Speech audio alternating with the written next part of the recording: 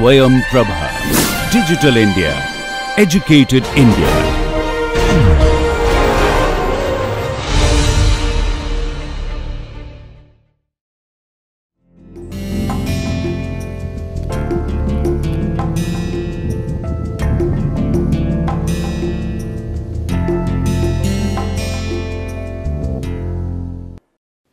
Namaste. Today we begin a new module that is forest soils. This module will have three lectures soil and soil profile, major soil types and nutrient cycles. So, we begin with soil and soil profile. So, what is a soil? A soil is defined as a mixture of rock debris and organic materials which develops on the surface of the earth. So, soil has two components rock debris and organic materials along with air and water and it develops on the surface of the earth and it is the medium that supports plant growth. So, when we talk about silviculture, when we want to raise any particular forest species, we need to ensure that this the soil matches the requirements of the plant species, because soil is the medium that is going to support the plant growth. As we saw there are four components of the soil, there are mineral particles, there is humus or the organic matter, water and air. Now, mineral particles provide a number of nutrients to the plants. So, uh, these mineral particles might be uh, a number of salts and these salts will, will provide different um, the plants. And humus or the organic matter provides texture to the soil. How does soil form? The soil formation occurs through weathering of rocks. So, weathering is the breaking up of rocks and rocks are also referred to as the parent material. So, soil formation occurs through weathering of rocks and deposition of organic materials over time. So, as we saw that there is uh, mineral particles. So, the mineral particles come from the weathering of rocks and the humus comes from the deposition of organic materials over time. And when we look at the parent materials or the rock uh, minerals, there are four major parent materials or minerals that uh, form the soil. We have quartz, calcite, feldspar and mica. Now, these minerals that are present in the rocks, they come into the soil through the process of weathering and weathering is defined as the process of wearing or being worn by long exposure to the atmosphere. So, you have a rock that has all these minerals and when this rock breaks up, when this rock uh, rock wears up because of long exposure to the atmosphere, then we have these mineral particles that get released and come into the soil. There are three kinds of weathering. We can have physical weathering, chemical weathering or biological weathering and we will look at all three of these in more detail now. So, physical weathering can occur because of these five main mechanisms. We can have thermal stresses, frost weathering or cryofracturing, mechanical action of ocean waves, pressure release due to erosion of overlying layers and salt crystal growth. So, how does thermal stress lead to weathering? Suppose you have this rock and this rock is now exposed to the sun during the day. So, what happens is because of the heat of the sun, this portion will expand during the day.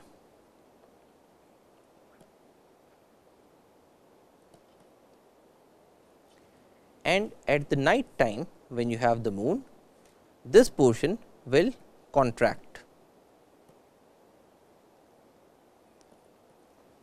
So, we are seeing a regular expansion during the day and contraction during the night and this expansion and contraction are occurring because of changes in the temperature because every day this rock will be heated up during the day and during the night time this rock will cool down and when it cools down the surface shrinks.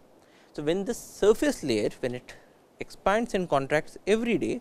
So, after a while what you will see is that there will be cracks that develop on the surface and once you have these cracks because of the regular expansion and contraction then after a while these cracks might even come out. So, these layers will come out and this kind uh, this sort of a process is known as onion weathering. Because these layers will be coming out uh, layer by layer as you can uh, peel an onion. So, when you look at a rock surface that has gone through this onion weathering, you will see that the surface will look something like this. So, you have this layer that is cracked and is coming out, then somewhere here you will be having some other crack and it will look like layers of onion. The next kind of weathering is frost weathering or cryofracturing. Now, cryo is cold and fracturing is breaking up. So, this is a breaking up or weathering of rocks because of cold. So, how does this happen? So, you have a rock and on the surface there will be some minor cracks that have developed over time and during the night time you might have some frost that develops because the surface is cool. So, you will have some small droplets of water that get inside this small crack. Now, if the temperature goes down then this water might start to freeze. And as we know that the density of ice is less than the density of water, because of which the ice floats on water. This happens because when the water is freezing, the volume expands. So, for, for uh, per unit mass, the volume increases. Now, when you have ice formation and uh, the volume is expanding, this ice so, if you look at this layer, so we have water here and when this water is converting into ice, the volume is expanding and when the volume is expanding, this will exert a pressure to the outside, because this ice is undergoing an expansion. So, it, it is going to push both the sides or all the sides and when that happens, this crack increases further. And so, because of a regular action of frost, will be having a fracturing in the rocks which is known as cryofracturing. So, this is a, another form of physical weathering. Then you can have mechanical action of ocean waves. So, when you look at an ocean there are waves on the surface and these waves regularly uh, come to the shore and they start pushing on the rocks that are there on the shore. So, this mechanical action of the waves bumping against the rocks after a while might lead to some amount of fracturing or weathering. So, this is another form of physical weathering. Then you can have pressure release due to erosion of overlying layers. So, what this says is suppose you have a, a rock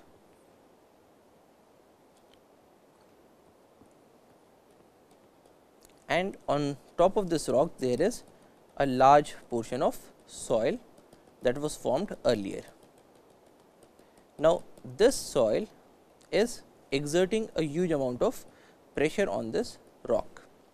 Now, if these overlying layers get uh, eroded, so you are having that this layer is now reduced because of erosion. Now, when that happens, the uh, amount of pressure that was uh, that is being applied to the rocks it reduces. So, earlier you had a rock that was extremely compressed and now you are having a rock where the compression is less. So, there will be some amount of expansion and that can also lead to weathering. So, this is another form of physical weathering. Also you can have salt crystal growth. Now, if you take a beaker and uh, put in a salt solution. You will see that after and if the solution is sufficiently uh, concentrated after a while you will you might see some small uh, particles of salt that have precipitated out and the salt particles that are there in this solution with time will get into this uh, this is small crystal that has formed and the size of the crystal will grow with time. Now, when that happens again you are seeing something that is expanding in size. Now, consider a rock that is near the seashore and there is a small crack here and it is right next to the sea. Now, when there is a wave there might be some amount of sea water that gets inside this crack. Now, this sea water when it is exposed to the sun the water will evaporate, but the salt will remain inside this crack. So, with time the concentration of salt in this small crack goes on increasing and when this concentration goes on increasing we will start seeing small crystals and with, with the growth of these crystals there will be again a pressure that is exerted. So, we have this crack, this crack has sea water and the sea water resulted in the formation of a small crystal. Now, this is crystal grows with time and after a while it will start exerting a force on all the sides. So, again you have a crystal that is growing it is exerting a force on the sides and that will lead to the growth of this crack further. So, this, this fracturing will increase and after a while this rock will be crumbled apart. Next let us have a look at chemical weathering. So, chemical weathering can be through carbonation and dissolution or solution. Now, what is carbonation? Carbonation is the addition of carbon dioxide. So, we have carbon dioxide in the air when it mixes with water we get carbonic acid H2CO3 and if we look at uh, a number of rocks they have calcium carbonate. And this calcium carbonate when it reacts with the carbonic acid this will form calcium bicarbonate. And this calcium bicarbonate dissolves in water.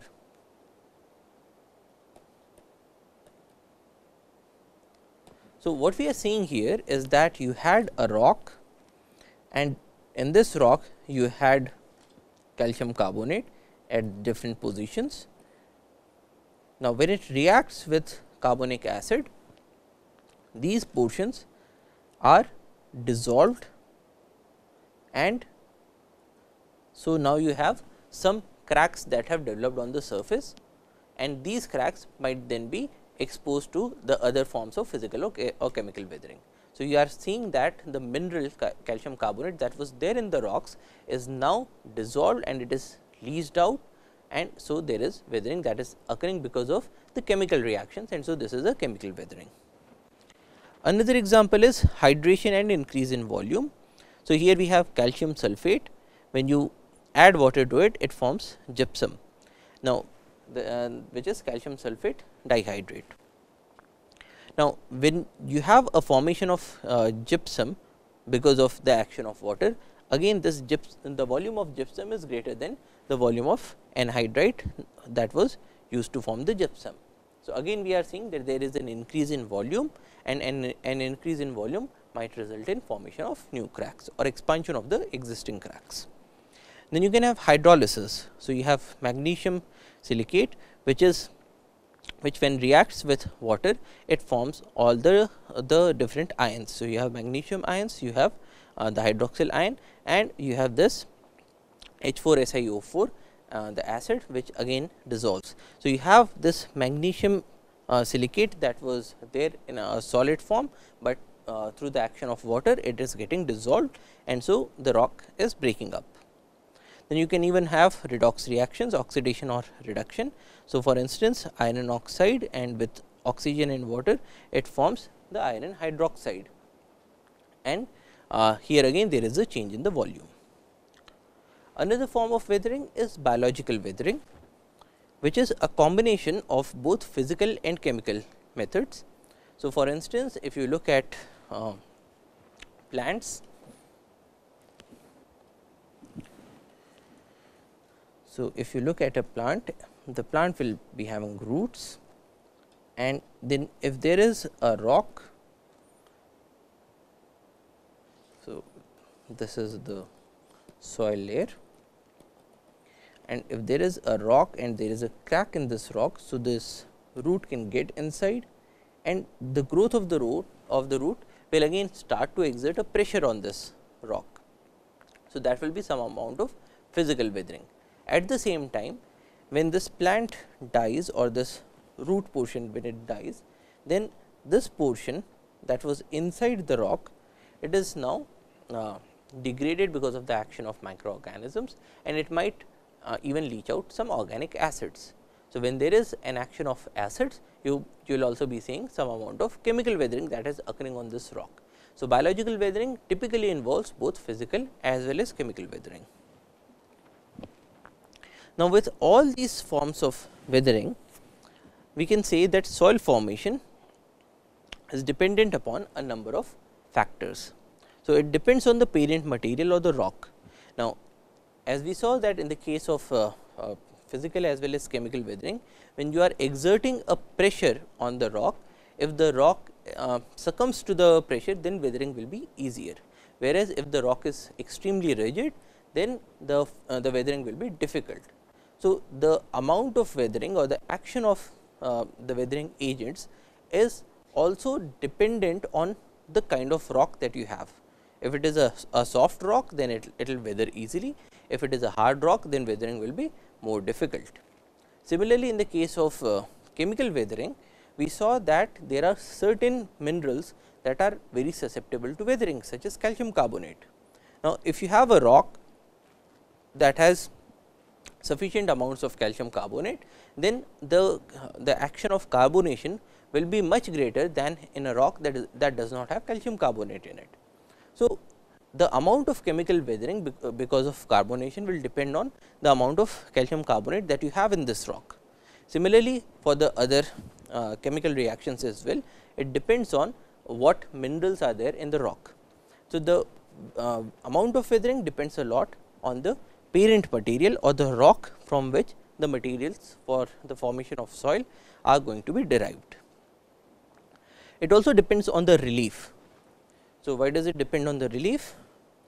So, if you have a rock that is there on a plane surface, then the amount of weathering will be much less than a rock that is lying on a slope. Why? Because let us consider the, the effect of physical weathering because of changes in temperature. So, when you have the sun,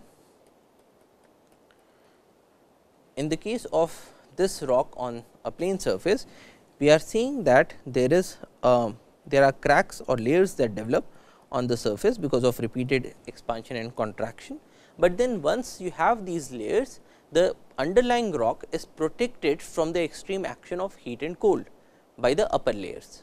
Whereas, if you look at a rock that is there on a slopy surface, so when you have these cracks that are formed, then after a while because of the because of gravity, these flakes will come down, they will accumulate somewhere here and so the rock surface will again be exposed to the action of heat and cold. So, uh, the relief de uh, determines to a to quite a lot extent uh, the rate of the weathering. Then we have climate. So, if there is a rock that is being exposed to extreme heat and cold, then the amount of weathering will be much greater than a rock that is in an area that has a more equitable climate.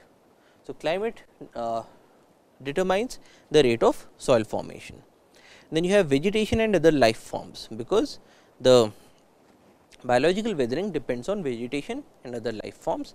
So, if you have vegetation and other life forms, biological weathering will lead to a quicker formation of soil as compared to uh, an area that is devoid of vegetation and other life forms. Also at the same time we saw that soil is comprised of mineral particles, humus, air and water. So, when we say that uh, we, we are seeing soil formation, there should also be humus in it and this humus will only come from vegetation and other life forms. Then you have action of human activities. So, for instance, if you have an area with a large sized rock and if there is no human activity then perhaps this rock will take a, a huge amount of time to be weathered. Whereas, if you have human beings and they are mining the, this rock for different minerals, then probably they will be uh, using say some uh, explosives to fragment this rock and when you are using explosive to fragment a rock, then the smaller pieces will be weathered at a much faster rate. So, if we see mining in any area, the amount of weathering is bound to increase. Then it also depends on time because all of uh, because the action of all of uh, these agents takes time. So, if you uh, have more time you will have more formation of soil. Now, if we look at uh, a sample of soil and if we put it through several sieves to uh, separate the particles of soil according to their size, we will see these different soil separates. So, we define clay as those particles that are less than 2 micron in size. Then we have silt which is uh, 0.002 millimeters to 0.05 millimeters, very fine sand 0.05 millimeter to 0.1 millimeter, fine sand 0.1 millimeter to 0.25 millimeter, medium sand 0.25 millimeter to 0.5 millimeters, coarse sand 0.5 to 1 millimeter and very coarse sand which is 1 to 2 millimeters. So, depending on size we have these different soil separates from clay which is the very fine particles to very coarse sand which comprises of very coarse particles. Now, one property of soil that is of interest in forestry is soil texture. Now, texture refers to the feel, appearance and consistency of the soil. So, if you look at any area where you are developing a forest and if you look at the soil there and uh, and by your look if you can see that this soil is comprised of very fine particles then probably this is a clay soil on the other hand, if you see that you have very coarse particles, then probably this is a sandy soil. So, texture refers to the appearance of the soil, the feel of the soil. So, if you take a sample of the soil in your hands and uh, you try to break it apart into its smaller fragments. So, you can feel whether it is comprised of very fine particles in which case um, the, the particles will look like uh, or feel like talcum powder or it is comprised of coarser particles where it will feel like sand. So, texture refers to the appearance, the feel and the consistency of the soil. So, when you take this lump of soil when you are trying to break it apart, if it is comprised of very fine particles then probably it will be very much aggregated. So, the consistency will be of a harder material as compared to sand in which case you can just drop all the particles and they will flow very easily. So, texture is the feel, appearance and consistency of the soil and it is determined by the relative proportions of clay, silt, sand etcetera in the soil. So, why is texture important? It is, it is important because by looking at the texture you can make an inference about the uh, kind of soil separates that will dominate in this soil. So, if you have a, a, a a soil that has a sandy texture, then you can very well uh, make an inference that it is having coarse particles and if it has coarse particles its properties will be very different from a soil that will be having fine particles. So, texture can give you a very quick uh, estimate of the properties of the soil and we look at uh, properties in a short while. Now, soil texture influences soil porosity, so, porosity is the amount of pores that you have in this soil. So, if you have a soil that is uh, made of coarser particles, so suppose you consider a soil that is made up of coarser particles and consider another soil that is made up of finer particles. So, now if you look at this soil the amount of pores are much greater than the amount of pores that are there in this soil. So, texture influences the soil porosity. At the same time, it also influences the permeability of the soil. So, permeability is if you add water to this soil, will it pass through. So, this soil which is made up of coarser particles is more permeable and this soil is more impermeable. So, if you have a soil that is uh, comprised of a lot of clay particles, then probably it will be so impermeable that you will find that, that water is sitting on the surface of the soil. Whereas, in the case of a sandy soil, if you add water, the water will go through in no time. Next, it influences the infiltration rate. So, infiltration is the speed at which the water enters into a soil. So, the speed in the case of a permeable soil that is made up of sand particles is much greater than the rate of infiltration in a fine textured soil such as clay soil. It also influences the shrink swell rate. So, shrink swell rate is something uh, where we have um, a piece uh, uh, uh where we have a sample of soil and when you add water to it. So, suppose your soil has a lot of clay particles and when you add water to it then this soil uh, swells whereas when you uh, uh, when the water is removed from the soil it shrinks. So, this is a property that we see in clay soils and we will look at it in more detail in the next lecture. Then it also influences the water holding capacity of the soil. So, water holding capacity is how much amount of water can be retained in this soil. If you have a sandy soil, you add water, the water passes through. So, it does not retain much amount of water. Whereas, if you look at a clay soil, then the water will be retained inside the pores of the soil. So, texture also influences the uh, water holding capacity of the soil. It also influences the susceptibility to erosion of the soil. So, erosion is the process in which the soil is moved from one area to another area through the action of uh, predominantly wind or water. Now, if you have a soil that is made up of very fine particles, then uh, it is easier for wind or water to remove these particles because of the physical action. Whereas, if you have a soil that is made up of much coarser materials, so uh, each particle is having so much of weight that wind or water are not able to remove this material. And so, the texture or the amount of fine and coarse particles in the soil also influences the susceptibility of the soil to erosion.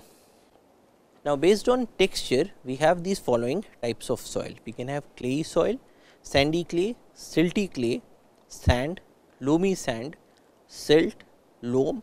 Now, loam is a, a soil that has roughly equal proportions of clay, silt and sand and this is considered to be silt loam, sandy clay loam and silty clay loam. Now, you do not have to remember all of these, but you just need to know that we can uh, that uh, that based on texture we we have an, a different uh, classification of soils. Next, we have a look at the soil structure. Now, there is soil texture and there is soil structure. So, when we talking about texture, we were talking about the proportion of uh, fine and uh, coarse particles in the soil. When we talk about structure, we are talking about the arrangement of these particles, uh, the arrangement of these solid parts in the soil and the pore spaces that are between them. So, to understand structure, let us look at two different structures. So, you, you can have a soil that has a platy structure. So, you have these plates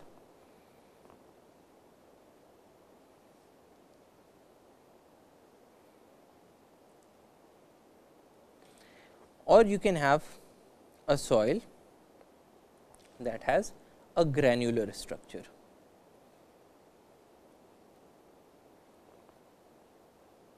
Now, let us consider that both of these soils have the same texture so, let us say that both of these soils are comprised of silt particles predominantly comprised of silt particles these are silty soils, but one soil has a, a structure that looks like this and the other soil has a structure that looks like this.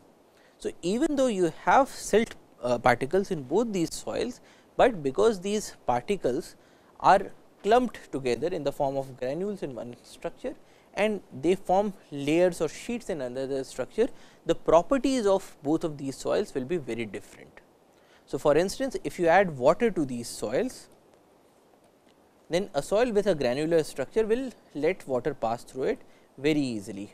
Whereas, in the case of uh, these uh, sheet like structures, the water will have very much difficulty to traverse this structure. So, this is a soil structure the arrangement of the solid parts and the porous spaces that are located between them. It is determined by the clumping, binding and aggregation of soil granules. So, you have the granules, how do they clump together, how do they bind together, how do they aggregate together is something that tells you how the, the soil structure will be. It influences air and water movement, biological activity, root growth and seedling emergence. And the soil uh, based on soil structure we can have platy soils, prismatic soils in which your uh, uh, your granules have a, a prism like structure. You can have columnar soils in which they form columns, they can form blocks, they can form granules, they can even be wedge shaped or they can be lenticular. Lenticular is lens shaped. So, you can have a soil in which the particles form this shape. So, this is a lenticular structure. Now, let us have a look at some soil properties and we will look at three different uh, textures and um, for the case of the other textures you can make inferences. Now, if you look at water holding capacity, how much water is retained by the soil, the sand has a very low water holding capacity, because if you put any water to this soil, the water will just flow through. Clay has a very high water holding capacity, because it is able to retain this water inside the pore spaces and silt has a medium to high water holding capacity, it lies in between. If you look at aeration, then because sand has coarser particles, larger sized pores and so the aeration is much better as compared to a clay soil and silt lies in between. Now, if we uh, have a look at the roots of the plants, they also require air for their survival and in the case of a soil that is predominantly a very clay soil, the roots might find it difficult to get air.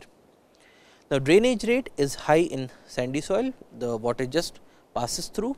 It is very slow in the case of clay soils, because it is highly impermeable and in the case of silty soils, the drainage rate is slow to medium. If we look at the decomposition of organic matter, then the decomposition of organic matter is rapid in the case of sandy soils, because if you add any organic matter, then this matter is, is very quickly exposed to the action of air, water and the uh, organisms, because they each of these are able to move very quickly. And even when you have uh, any decomposition of the organic matter, this uh, uh, the, the, the fragments or the detritus that form will be very easily removed when there is water that is moving through the sand. And so, the decomposition of organic matter is very rapid in the case of sandy soils, it is slow in the case of clay soils and it is medium in the case of silty soils. Now, because the, uh, the organic matter decomposes very fast, so the amount of organic matter that you will find in sandy soil will be very low because any organic matter that was there is decomposed very quickly and it gets removed. Whereas, in the case of a clay soil because the decomposition is very slow, so you will find a high to medium amount of organic matter in the soil. In the case of silty soil, you have a medium level of organic matter or in certain cases you may have a higher level of organic of soil organic matter in a silty soil.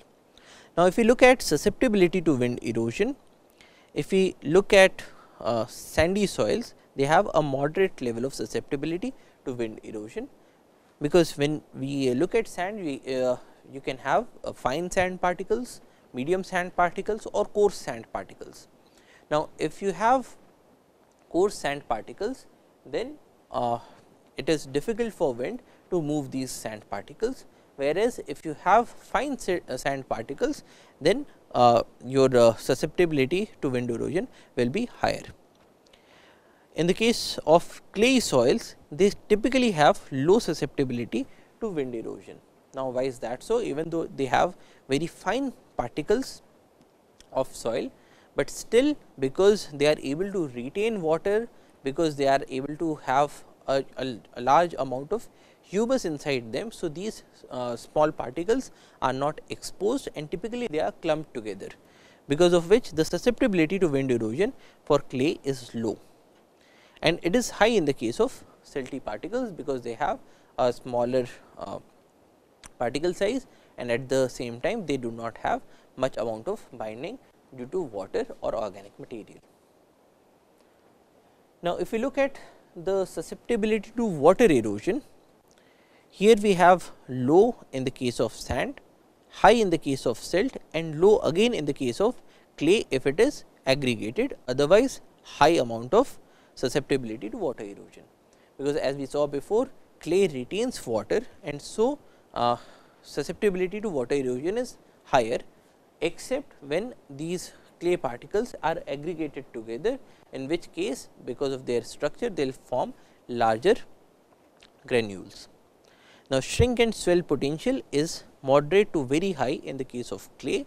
In uh, most cases we find that clay soils uh, show uh, huge cracks in the case of summer season because they shrink during uh, the summers when the water is less and uh, when uh, with the first rains they swell and these cracks get filled up.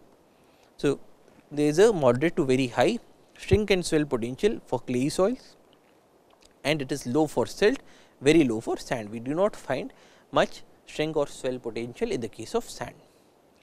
Now, if we uh, want to use these soils for sealing of ponds, dams and landfills, then clay is a very good soil for sealing the bottom layers of a pond. Now, why is that so? Suppose you have this pond and this pond is in an area with sand uh, predominant soil. Now, in that case any water that comes into this pond will just pass through. But if you add a layer of clay to the bottom, then this clay will form an impermeable layer and the water will be retained in the pond. So, the sealing for the sealing of ponds, dams and landfills clay is a very good soil and sand and silt hardly have any utility for the sealing purpose. Now, if you look at uh, suitability for tillage after rain, sand is very good uh, or, uh, or very much suitable for tillage after rain. Silt has a medium level of, of suitability and clay has a poor suitability, because right after rain the clay soils will swell, they will expand, they will swell and they will become a very sticky aggregate because of which it will be difficult to, to till this soil. Now, if we look at uh, pollutant leaching potential, then because leaching is high in sand, so pollutant leaching will be high, it is medium in silt and low in clay soils unless they are cracked because of the shrink swell potential. Now, ability to store the plant nutrients is high in the case of clay soils and poor in the case of sandy soils with silt coming as medium to high. Why? Because in the case of plant nutrients, if we talk about mineral salts, if there is any water that flows through the sand, uh, then it will uh, take out all the, the nutrients along with it. So, because uh, sandy soils have a poor retention of water, they have a good drainage. So, uh, water will remove all the minerals, all the nutrients from the sandy soil very easily. Now, if you look at resistance to pH change, then because the clay soils have a huge amount of organic materials. So, they are able to resist changes in the pH levels, whereas the sandy soils which have hardly any organic materials, they have a very low resistance to pH change. Now, this is because a number of organic materials are very good buffers and they help the soil to resist the pH changes and silt comes as a medium resistance to changes in pH or the acidity levels. Now, if we have um, if you go to any area and if you dig a hole, then you will find that these soils have different layers and these layers are arranged one on top of the other and they make a soil profile. So, we, we can define soil horizon as a layer of soil that is parallel to the surface whose physical, chemical and biological characteristics are different from those of the layer above and the layer below. So, what we are saying here is that you go to an area and you dig a hole in the soil and what you see here is that these soils will be found in layers.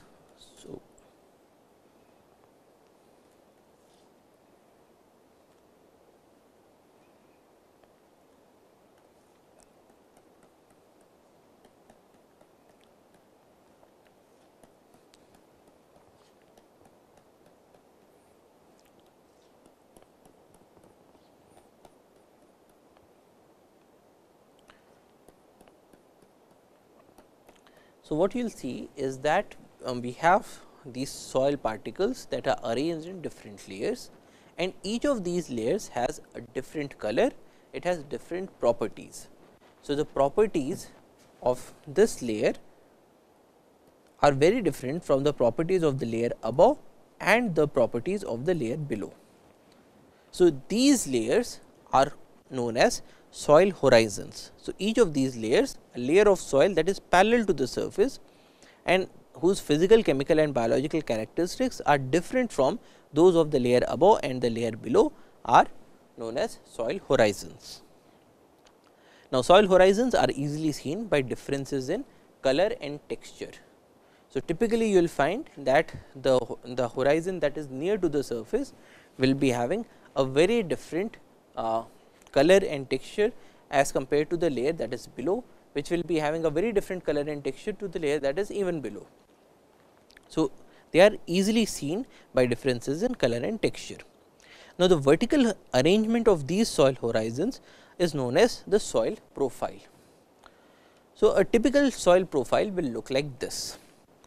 So, if you look at the surface layer, you will have the O horizon which refers to the organic surface layer. Now, this organic surface layer because uh, if you see any uh, trees the dead leaves, the litter, the, the dead twigs they all fall down and they reach to the surface and on the surface they get uh, degraded because of the action of water and microbes and different organisms and because of that they will form the humus.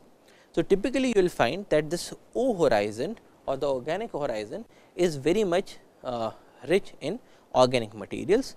It comprised of undecomposed and decomposing litter, both undecomposed litter which is your dead leaves and the decomposing litter which is partly decomposed.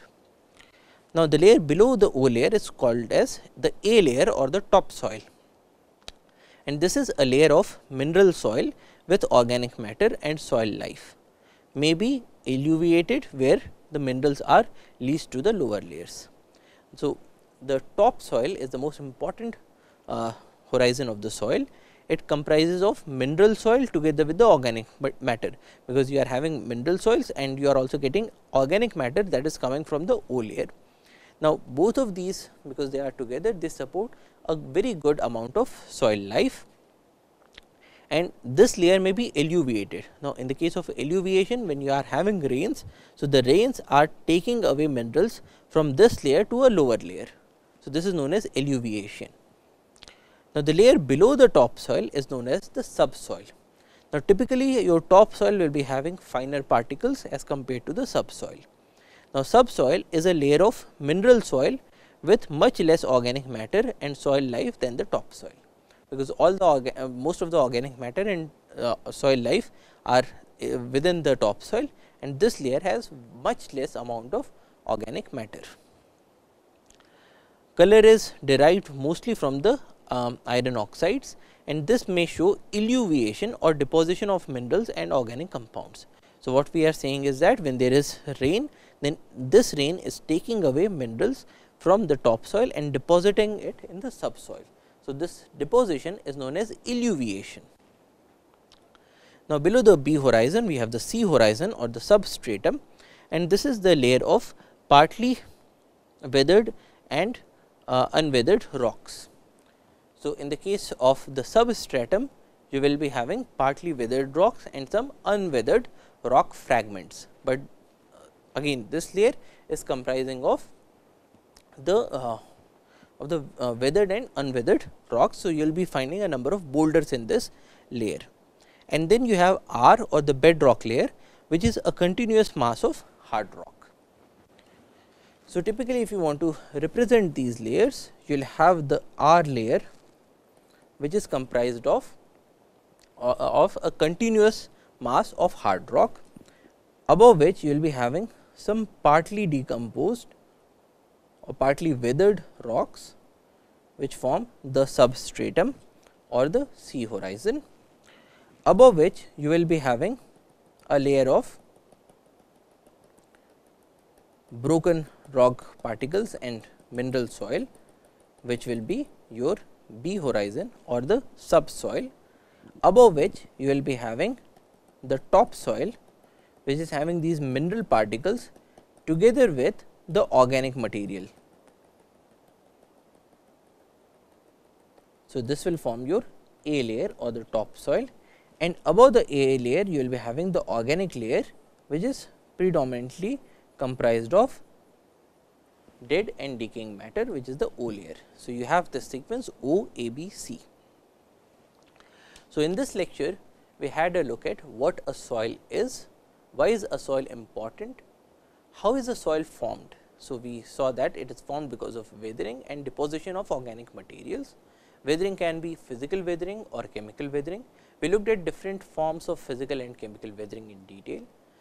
Now, soil formation is dependent on a number of factors. It is dependent on the parent material or the R layer that we saw later on.